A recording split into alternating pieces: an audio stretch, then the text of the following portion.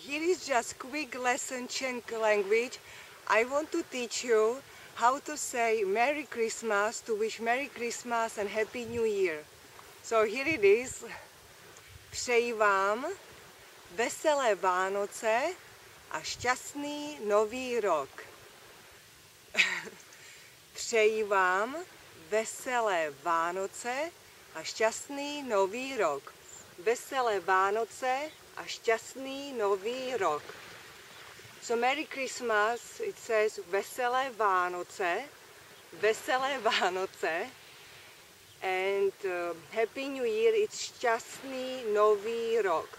So let's put it again together. I wish, přeji vám, veselé Vánoce a šťastný nový rok. bye bye my trainees. See you next time and Merry Christmas!